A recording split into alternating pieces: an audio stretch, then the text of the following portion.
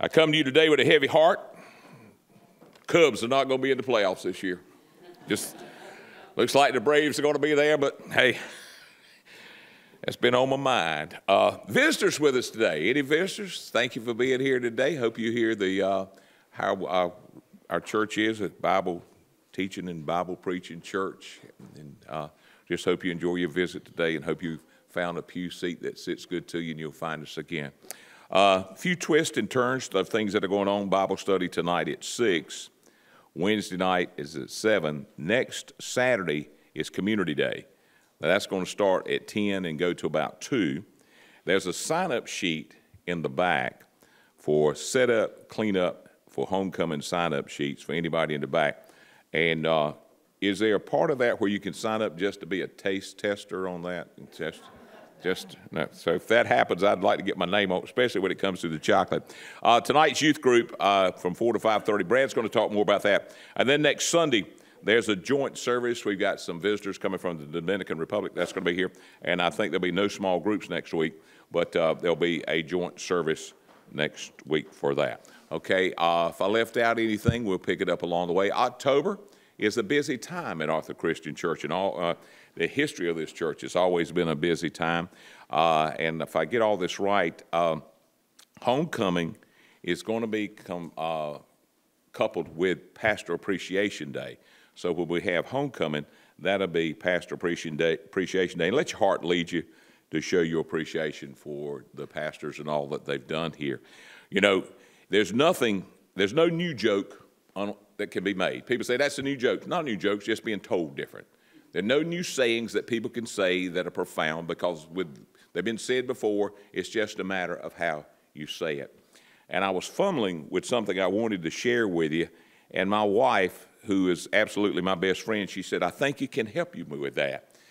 And she, she said it. I said, Well, who said that? She said, Billy Graham. I said, You mean to tell me that I'm about to say something that Billy Graham said. She said, No, I'm going to tell you that you probably read this and just remembered that Billy Graham said it. So, so there's nothing new. So I'm going to give Billy Graham credit for this, but I'm going to put it in my words. Pastor appreciation. Last Sunday, I sat over here and I cleared my throat, I wiped my eyes, and I went through a lot of emotional. It was a roller coaster ride for me as I listened to then a few Sundays ago, I listened to Brother Bill stand up here and deliver a message that I asked myself, there were 100 people in that church, why was I the only one that he was talking to? And I carried that message with me. Today, Brad's going to bring you a message. So we got, we got a great team here at Arthur Church. But Billy Graham said it, I'm going to put it in my own words, the best test of a preacher is not when we go out of here and we say, man, that was a great sermon today. That was a great message today. The rest of the statement should be, yes, it was a great message, but how did it motivate me to do more for my church? Let's pray. Good morning, Lord. We thank you for everybody that's here today. For those that can't be with us, Lord, we just ask that you be with them and bring us to our church. And uh, for our visitors today, Lord, thank you for sending them our way. And let the love that's in this church, let the message that comes from this pulpit fill their hearts and that they may return and bring someone with them and Father, during this time of pastor appreciation and homecoming and all the things that go on in our Christian church, when we leave this church and when we leave this campus, Lord, I just ask you, but let us carry ourselves, let the words from our mouth, let folks around us know that we are God-fearing, God-loving members of your world where you promise us, us grace and eternal life. And let us always glorify your name. I ask this in your Son's name. Amen. Sunday um, at 6, and there will be finger foods if you bring them. So bring finger foods next Sunday night. We can have a fellowship with Tomas um, and just enjoy his, his company. Um, just a great ministry there in the Dominican Republic, and, and we are very heavily involved um, as a church there. And so we definitely want to have, have a warm welcome and a good attendance for him next Sunday night at 6. Again, Saturday is Community Day at the Bell Fire Department. Um, we're going to be having hot dogs. We're cooking the hot dogs, and they're providing other things. So 9.30 is when we need to have the hot dogs ready. Uh, the hot dogs have already been uh, cooked. I'm cooking the hot dogs, so we're gonna get the grill out there and do a nice grilled hot dog. We got some chili coming, got some onions coming, all the fixings. So start at 10 to 2 is when the community day begins. If you want to come out and help serve those hot dogs, that'd be great. Um, if you just want to come out and just fellowship, walk around and say, hey, I'm from Arthur Christian Church. What can I do for you? That's the whole concept of community day. So please come next Sunday, next Saturday, 9.30 is when we have the hot dogs over there ready to rock and roll. So if you want to help with that, please be here by 9 um, so we can start wrapping them and getting them ready. Uh, from 10 to 2, we'll be serving and just doing some uh, good loving on our community members. So let them know that we're here for them. So please put that on your calendar um, for next Saturday. So with that being said, if you pull out your prayer list, we do have our long-term and short-term today. So starting with our short-term, I do want to add Roy Elks. He is currently in the hospital running some tests. Not sure what's going on there, but uh, just want to continue to pray for Roy Elks I see he's in the hospital. They try to figure out what is going on um, with him. Um, he's been there since Thursday. Again, we want to continue to pray for Bill and Lisa as they're on vacation. I think they're coming back either today or tomorrow or sometime uh, in the next 24 hours. So be praying for Lisa Bill with safe travels back home. Um, I'm glad he was able to get away and just have some time. And we just want to pray for safe travels. Again, um, those listed in bold, we have Benjamin Roberson. Um, he is technically hernia, I guess you could say, so we're trying to figure out what's going on there. So continue to pray for my dad, Benjamin Roberson. Of course, we want to continue to pray for the family of Kristen Dawson, who passed away. Um, again, the Waters family, we want to pray for special prayer for um, next coming weeks. Again, a lot of things going on. Our short term is short, which is a blessing. We can remove some names. We've got some praises. Uh, we also want to remember those in our church family that are those caretakers, those ones taking care of the sick. If you look on your long term, we do have one update. Jordan Corbett, which was added by Lauren and Andrew, um, she actually had her last chemo treatment and was able to ring the bell, uh, which is a blessing there. We still want to keep her on the prayer list, but again, it's a great blessing you can take that last uh, chemotherapy and, and, ring that bell, and, and we hope that God's blessing will be on her and that healing process will happen. Again, Everything else on our long term, if there are any updates or additions, let myself know, Pastor Bill, or even call Lynn, um, or you can email Melinda. She will definitely get that out there um, so we can make sure we have some updates for November. Uh, but again, as, as you take this prayer list home, put it on your refrigerator, in your car, at work, wherever you know you can see it on a daily basis.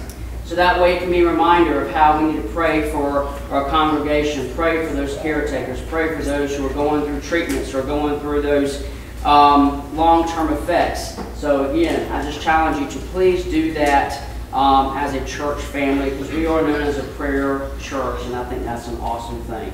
So with that, now let us go to the Lord in prayer and I challenge you to please join me. This is your time to talk to your Heavenly Father and so just don't listen to my words speak to your Father. He is now listening to us. Let us pray. Gracious Heavenly Father, thank you so much for this day.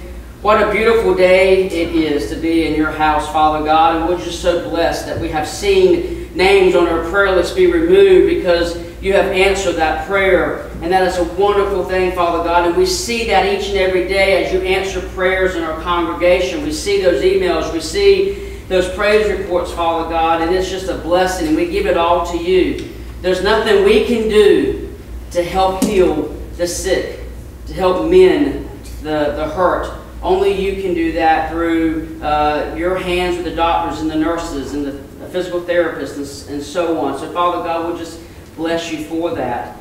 Father God, we've, we've lost some loved ones, uh, Father God, and we know that's sad that we uh, will miss them here on this earth, but we know that if they had you in their heart, then they're in a much better place. Father God, they're seeing your face.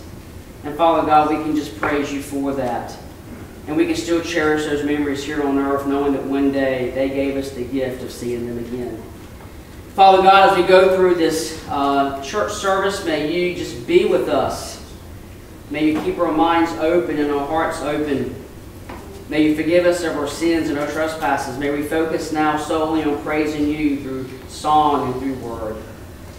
Father God, I ask that you speak through me today. May it not be my words, but may you deliver the message that you feel this congregation needs to hear today. And I thank you for that. Father God, be with the kids as they again listen to this message. May they enjoy it. And may they be able to go into their schools tomorrow and, and spread the gospel.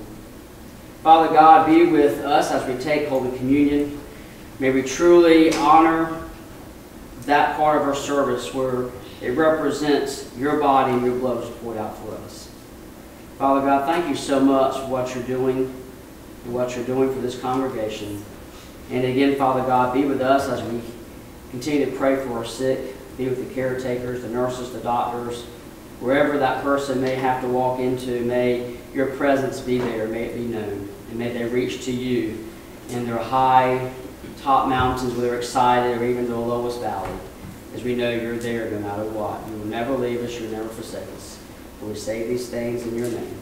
People said, Amen. Amen. All right, children, church, would you come on forward, children, for Children's Minute?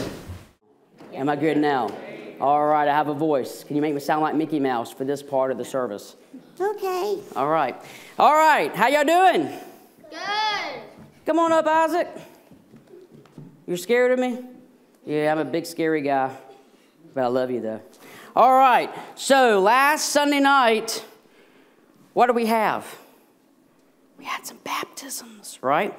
And so I got some certificates that I want to present to those that are here, right? So I'm going to honor everybody who got baptized last uh, Saturday. The first was Jace Cobb. I know he's not here, but you want to take it on his behalf? Don't bend it now. Okay, there you go. All right, we got Abigail Whitehurst. Is she here? No, that's fine. No worries. We got Reese. Are you here? All right, there you go. All right, yeah, yeah. We got Olivia Wilcox. Is she? That's fine. You can be Olivia today. All righty. And we got, now you got to come up, Isaac, because you got to get your certificate. So I'm forcing you to get up here. Come on, come get your certificate. Come on, Isaac. Come on, Isaac, come on. Okay, all righty. Well, again, we're so excited uh, that y'all decided to, to, to get baptized and to accept Jesus Christ. And today, when you're sitting with your parents during the service, I hope you enjoy the message. There's going to be some fun parts in the message that you're going to really enjoy and love. And there's going to be some parts you'll probably fall asleep on, but that's okay, right? But I hope you enjoy the message because you're such an important part of this church. And I know you can take some of this message out. And message is the hands of Jesus. And you know, Jesus gives us the ability to be his hands and his feet.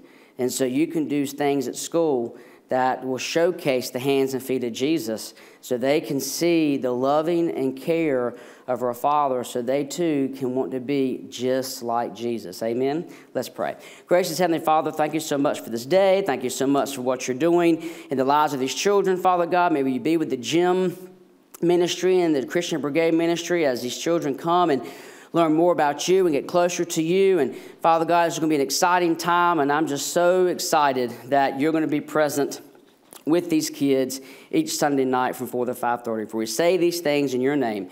And the people said, Amen. Amen. All right, y'all go sit with your parents, okay? Good morning, church. Good morning. We've come to the time now when you have a great opportunity for your participation in the service. And you can uh, well-known uh, hymns. So I'm going to ask you to stand, please, and the words, words on the screen. Third, you can take your hymnal, and the first one is number 206, Dwelling in Beulah Land. 206, we're going to sing verses 1,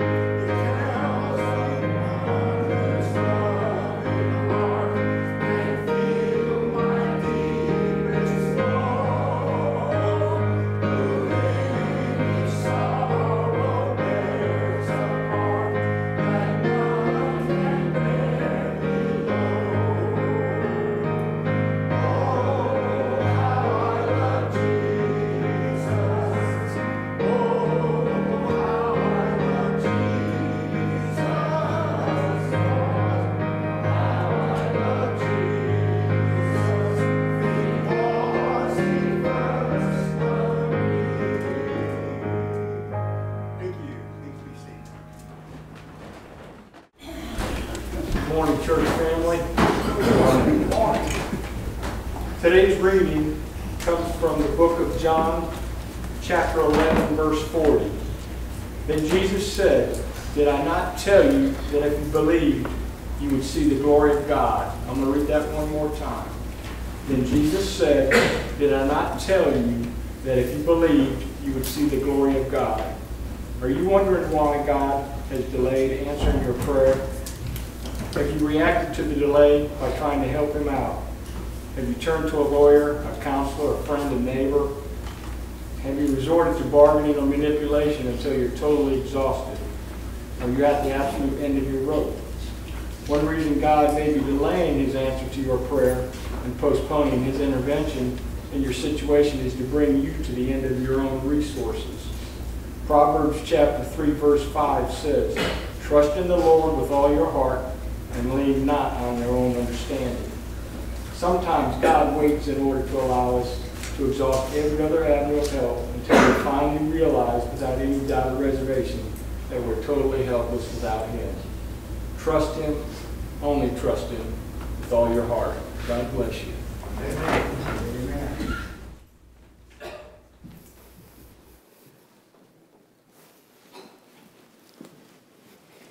If you pull out your communion, that night in the upper room, our Lord Jesus Christ, He took that bread, He blessed it, He passed the disciples, saying, This represents my body, which will be broken for you. Take this, eat, let's remembrance of Him. Then He took the cup. Again, He blessed it. He passed the disciples, saying, This represents my blood, which we poured out for you. Take this, drink, remembrance of him. And as long as we take this cup and this bread, may we proclaim the Lord our God. And may we know that one day he will either come back for us or we will go to him. Amen.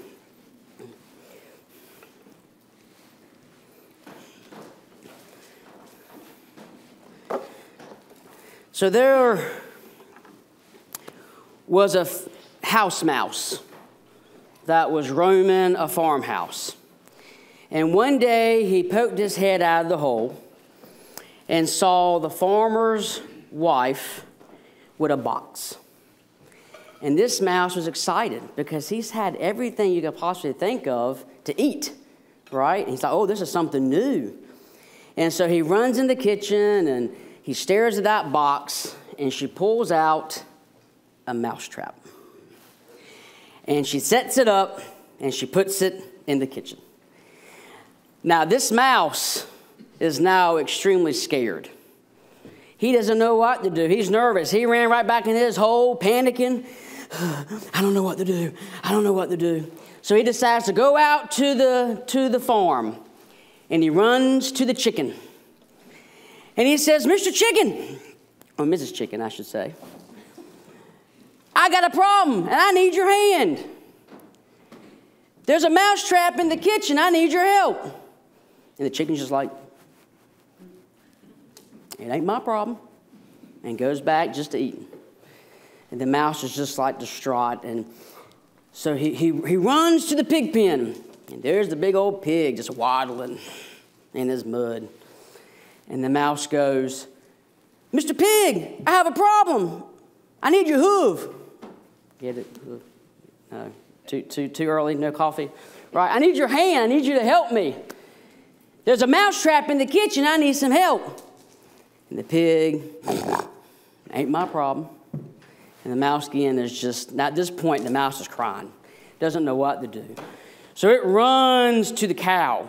For sure, the cow will help me. He'll lend me a hand, right?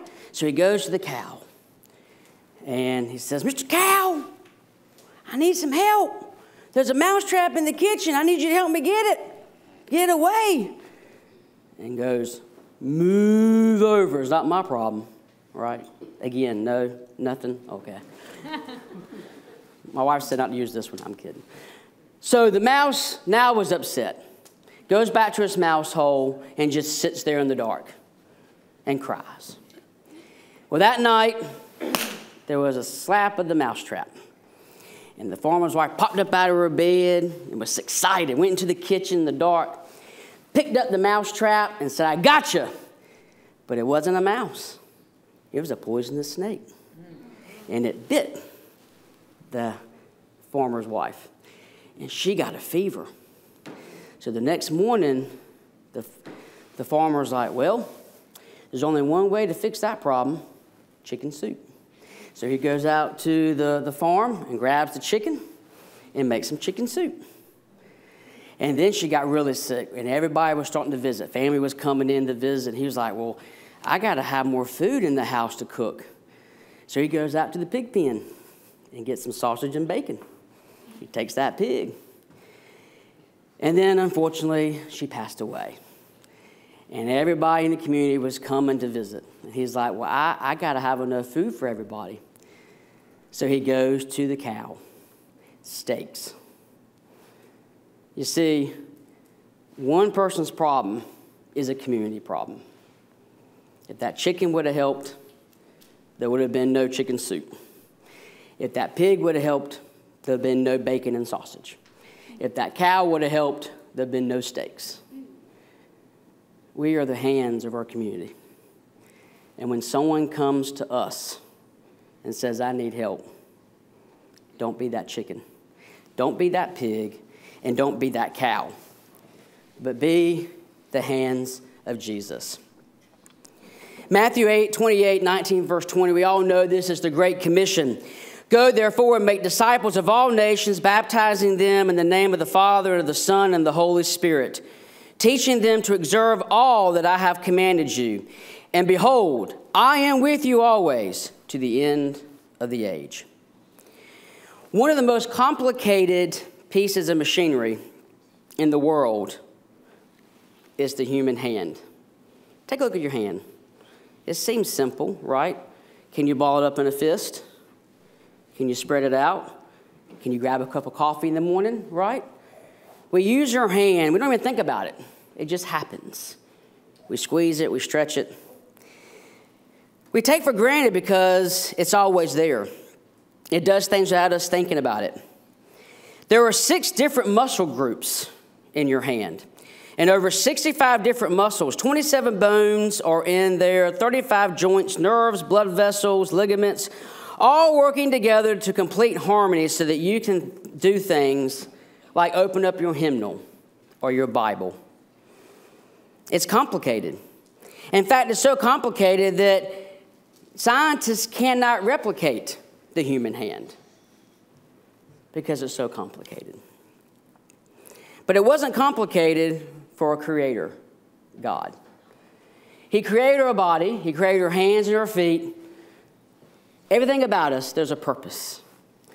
And so, holding that Bible today or holding that fork for lunch today, just think of the complex machinery you have at your disposal. If you compare your hands to the person sitting next to you, you'll notice some slight differences. Some are smaller, some are bigger, right? But they generally are the same. When you have a tough time in life or when you're scared, what do you normally tend to do with your hands? Cover your face? Maybe when you're angry, what do you do? You quench your hands, you squeeze them. When you're nervous, you put them in your pocket, right? Or you fiddle when we get nervous. You see, our hands are an important part of our body. And when we look at Jesus Christ, I want you to think about hands. You see, that night in the Garden of Eden, Jesus was overwhelmed with sorrow. He felt horrified. He fell to the ground and he put his hands together and he prayed to his father, Abba. Take this cup from me, but thy will be done. You see, Jesus could call a legion of angels to free him of this pain he was about to endure with his hands. But he knew it had to be his hands to be nailed to that cross. It had to be the cup. He had to take the cup. Isaac couldn't take the cup. He stopped Abraham. He knew that he was going to be the one that had to save us from death. And when we look at the hands, our hands, so many people have skills with their hands. So I have a basketball. Not a very good basketball, but it's a basketball. Now, in my hands, how much do you think this basketball is worth? $10? $15? How much, Isaac? Zero, because I lost no money. There you go, zero. But in the hands of LeBron James, 10 million, 15 million, 50 million, what's his contract? 300 million, whatever with a basketball. And how does he play that basketball? With his hands and his feet, right? When we look at a football, now obviously ECU didn't play so good last night. They were in the wrong hands. but we look at this football, in my hands, I don't know, Walmart price $10, right? If it's an NFL official football, maybe 50. But in the hands of Peyton Manning, 60 million? More? Right? Millions and millions of dollars. When you think of a golf club, Alex, I need to use you real quick to be my tee. It's a nice golf club, very expensive golf club maybe $100, $150 for a nice golf club in my hands. But in the hands of Tiger Woods, what do you think it's worth? Nothing now. Nothing now. in his heyday. Nike paid him what? $200 million to be a sponsor, right? That one game where the, t- where the, um, the, the ball just went into the hole and it stopped at the, the check sign. You remember, you know I'm talking about, Georgia. You know I'm talking about. That right there was millions for Tiger Woods, right? He used a putter, you know? But again, it's all about whose hands that it's in. When we look at Jesus, to me, this is a glass of water. To me, nothing special. Drink it. But when you put it in Jesus Christ's hands, it turns into wine. His very first miracle. His first miracle. And the reason why he did that miracle, because his mama told him to. Listen to your mamas, kids, okay? And daddies. That's right. You see, I can take three nails. In my hands, I can probably do a birdhouse, maybe, right? But if you give these three nails to Jesus in his hands, why did it give? Salvation, eternal life. My hands, nothing. Jesus' hands, everything. Everything. It's all about whose hands it's in. And with the Great Commission, what's so powerful is that Jesus gave us that gift. We received the Spirit. So, guess what? Can we bring people alive from the grave? Can I, can, I, can I be a part of a conversation to help somebody have eternal life? Yes. But it's not me, it's who's doing it within me God. Jesus. Jesus gives us that skill, He gives us that blessing, and it's free. All my hands you're in. You see, Jesus' hands were very complex, but yet they were full of warmth, love, compassion, dedication, service, and on and on and on. His hands were just like us physically, but he knew who his father was, and he believed in his father. And because of that, he gave his disciples that same gift to be the hands of his father. You know, when we look at the different things that Jesus did, with his hands, he fed 10 to 15,000 people by just blessing some bread and some fish. How awesome is that?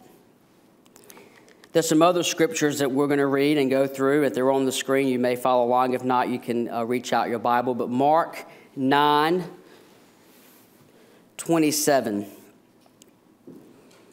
He had hands of blessings for little children and babies, and he laid his hands on them. Through his hands, he defeated the destruction of man's life by demons. He helped a kid who was engulfed in demons. He just touched them, and the demons were gone. I mean, this kid was quenching his teeth. The father was going to throw him in a fire. I mean, this is how bad it was all his life. And with the touch of Jesus, the demon was gone. The kid was free. Matthew 14 31. Immediately Jesus stretched out his hands and took hold of him and said to him, You of little faith, why did you doubt? This is Peter on the water. Jesus walking towards the boat. Peter's like, Is it you, Jesus? If it is, let me come out. Literally, Peter walked out of the boat. He was walking on water. And as soon as he looked down around and the storms were coming, he had no faith. And he started sinking. And with the hand of Jesus, pulled him up. Have faith in me, Peter. the hands. Luke 5:13 and he stretched out his hands and touched him saying, "I am willing to be cleansed." And immediately the leprosy left him. Again, no one messed with people with leprosy. They were outside of the town. They could not be touched. They couldn't be looked at. They were just nothing. You did not touch them. Jesus touched them and healed them. John 9, 1 through 6. And he went along with the, and he saw a blind from birth. His disciples asked him, Rabbi, who, who sinned, this man or his parents, that he was born blind? Neither this man nor his parents sinned, said Jesus, but this happened so that the works of God might be displayed in him. As long as it is day, we must do the works of him who sent me. Night is coming when no one can work, while I am in the world, I am the light of the world. After saying this, he spit on the ground, made some mud with his saliva, and with his hands he put it on the man's eyes. Go, he told him, wash in the pool. To the man went and washed and came home seeing. Spit and mud in the hands of Jesus allowed a man to see. Is that not powerful? So we look at these examples and we see that Jesus is full of love and full of gratitude for his Father, full of compassion for his people. Even the night he was betrayed, he used his hands to put an ear back on a soldier's face. The night he could have just said, I don't want this, he healed a sinner. And he stopped his disciples from attacking. When he got beaten, he could have taken his hands and go, I'm done. But he embraced it. And instead, on that cross, quenching his fingers to his palms, putting his hands in his pocket, or hiding them over his face, he stretched them out. Are you hearing me? He stretched them out and allowed his hands to be bound not by rope, by a nail. And his disciples and his mom and his cousins were there, couldn't do nothing. This is it. We're done. Three days later, the hands rolled that tomb away, and he awoke. He arose and he went to the house of the disciples and said, Thomas, touch it. Touch it. It is me. Such an amazing, amazing love that our Father has for us.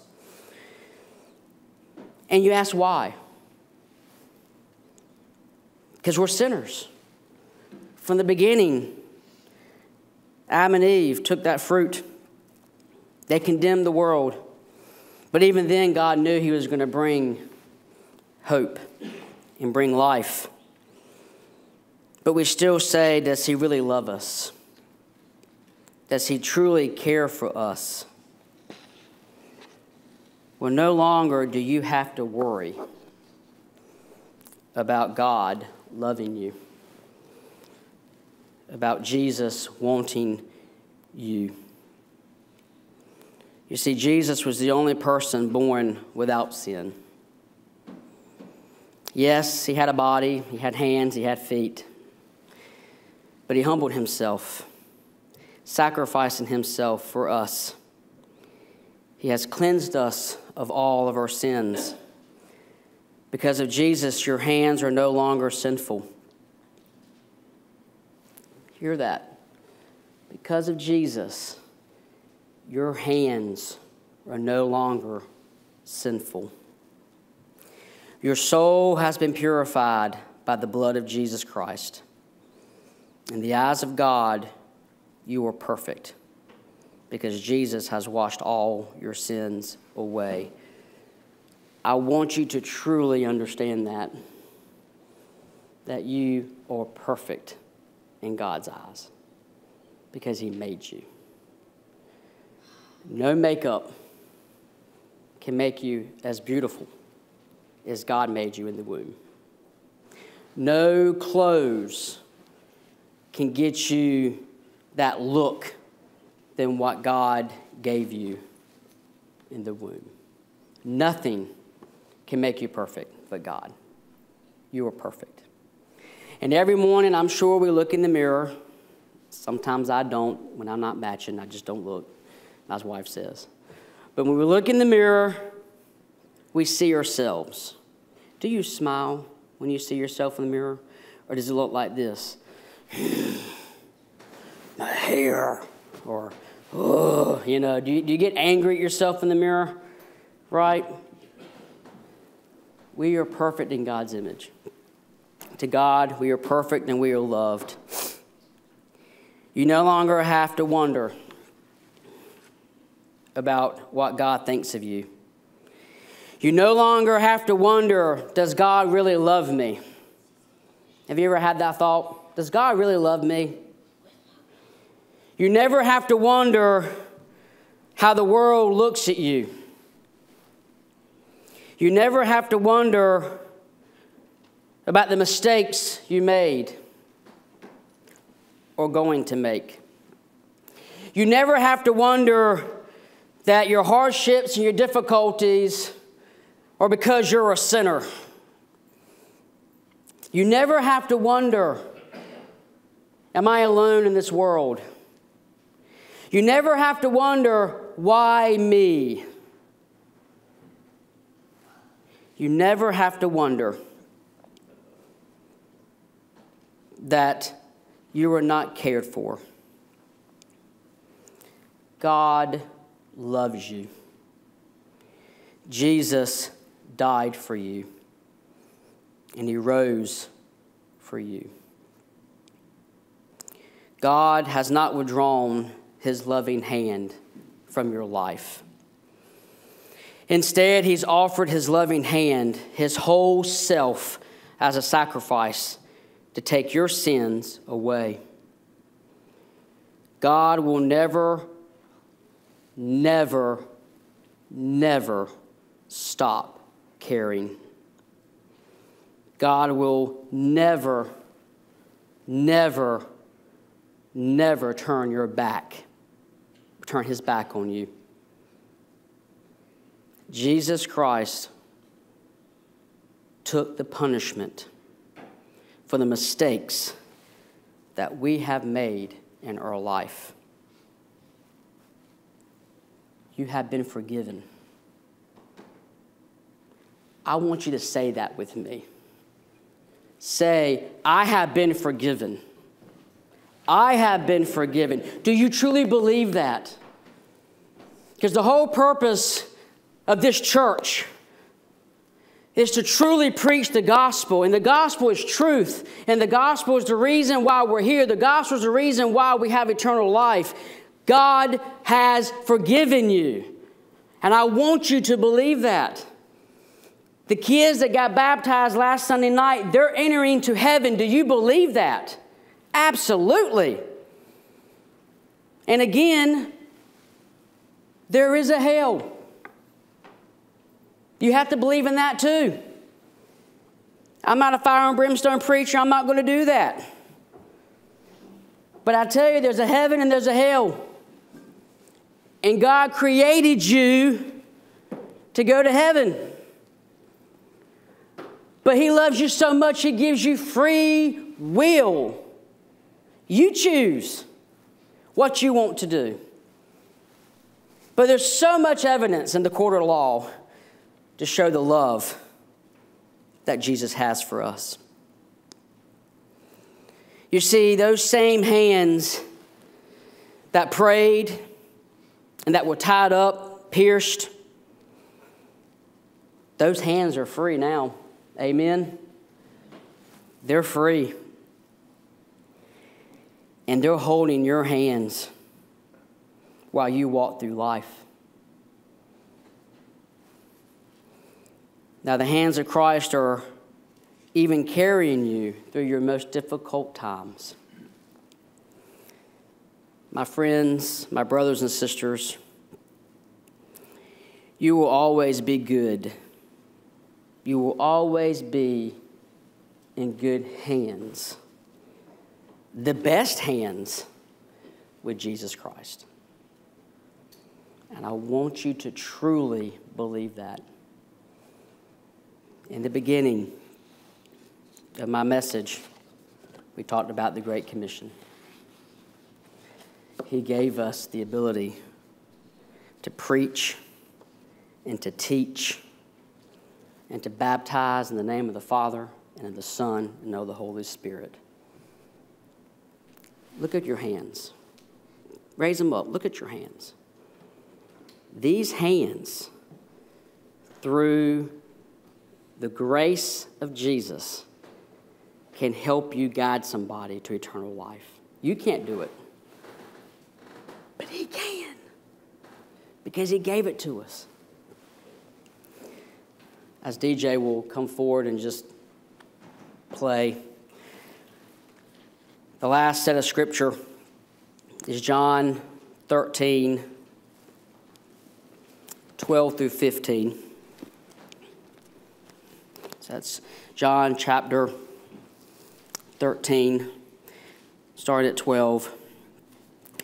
When he had finished washing their feet, he put on his clothes and returned to his place. Do you understand what I have done for you? He asked them, You call me teacher and Lord, and rightly so, for that is what I am. Now that I am your Lord and teacher, wash your feet. You also should wash one another's feet. I have set you an example that you should do as I have done for you. I tell you the truth no servant is greater than his master, nor is a messenger greater than the one who sent him.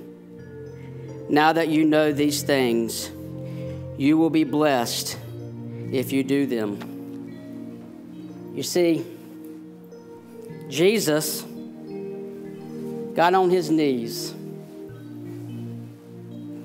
with his disciples. And he says, I'm going to wash your feet. I'm going to bend down. I'm going to kneel and I'm going to wash her feet. So he took that bowl and he put it down on a cloth and he poured some water and he began to wash his disciples' feet. Now, let me tell you about the feet in the biblical age. They were not as clean as yours are today. You've got shoes on or some type of covering, socks. They were barefooted back then. So to clean someone's feet was a true servanthood because you're getting down and dirty. And Jesus got down and dirty with his disciples. And he told his disciples, Now you get down and dirty with your brothers and sisters. So during this time, the altar is open. I'm up here. I'm ready to clean your feet. If you want your feet cleaned so that you can go and clean others, come see me. Because I'm not afraid to clean your feet. I'm not afraid to be a servant of God. I love my God, and my God loves me. So come Give yourself to Jesus. Pray for someone that you know is struggling with cancer, who are going through treatments. Pray for somebody who's having a, a, a mental issue, maybe. Maybe having some problems at school or at work. Pray for someone who just got fired. Pray for this world. Pray for this community. Pray for somebody who's trying to be a mom and dad. Justin Anderson. Pray. This is your time to come pray to your Father. You can pray at your seat, that's perfectly fine. Or you can come to the altar and lay it down. And we're just going to let the service end. You can get up. But if you want your feet washed because you're ready to wash others' feet, I'm here. I'm going to pray and then I'm going to leave the altar and the chair available. Let's pray. Gracious Heavenly Father, thank you so much for this day. Oh, Father God, thank you for your hands. Your hands that created us, your hands that created your Son. Father God, thank you for your Son Jesus' hands who came on this earth to just grasp the nail, grasp the pain, to be that example and to help people see, to help people be cleansed, to help purify people's lives. Thank you so much for that, Father. And we know that that's still happening today, Father God. You're still doing miracles. But Father God, help us to be open. Help us to allow you to use our hands, not our physical hands, but allow God's hands through us to just deliver the message to those, to be that physical example, to be not be afraid to get down and dirty, to show love to one another. As we leave this place, may we not leave anything unturned. May we not leave anything regretful. Maybe leave this congregation, maybe leave this church, your house, cleansed and forgiven. And may we start anew. Because with you, Father God, there's no mistakes. And you will forgive us, and you love us, and you care for us. Father God, I say these things in your name and in your Son's name. Amen.